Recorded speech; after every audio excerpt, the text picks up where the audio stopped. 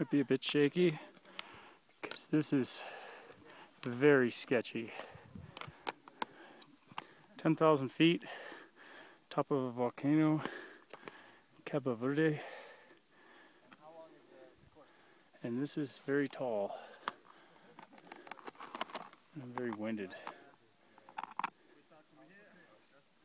We'll go down so you can see.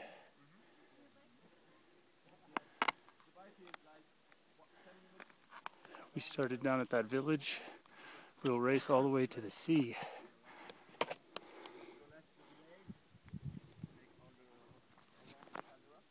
There's the volcano, it's still smoking. Oh, shaky, shaky, I got rabies. We'll race all the way to the ocean, into those clouds. There's my French friends.